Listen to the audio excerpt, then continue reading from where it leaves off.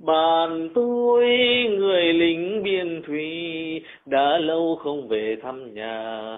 Xuân nay anh trở về, kể nhau chuyện nơi đó. Có một đồn xa, anh em như một nhà, cùng nhau giữ biên giới, giúp dân xóa đói giảm nghèo dạy chữ cho em thơ. Ngày đêm sương gió, thấy anh vững vàng hơn. Bà con mừng cho anh, còn tôi hứa đợi chờ.